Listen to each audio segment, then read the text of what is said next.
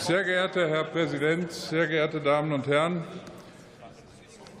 Über den ganzen Unsinn, der hier verbreitet wird, Russland hat niemand von der NATO angegriffen. Wir sind nicht im Krieg mit Russland.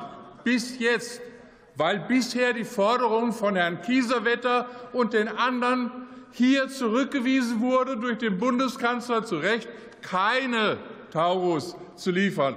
Was die Amerikaner jetzt machen wollen, ist in unserem Land zusätzliche Atomraketen mit langer Reichweite zu stationieren, und das in fünf Gebieten der Welt.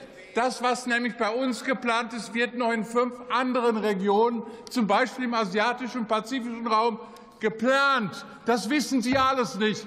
Dann muss der Bundestag aber auch eine öffentliche Debatte anleiern, wo die Herren Richter, Kujat, Fahrt und andere, die was davon verstehen, denn sie verstehen nichts davon, da muss die Öffentlichkeit aufgeklärt werden. Die Mehrheit der Menschen in Deutschland will keine Atomwaffen. kommen Sie zum Schluss, bitte.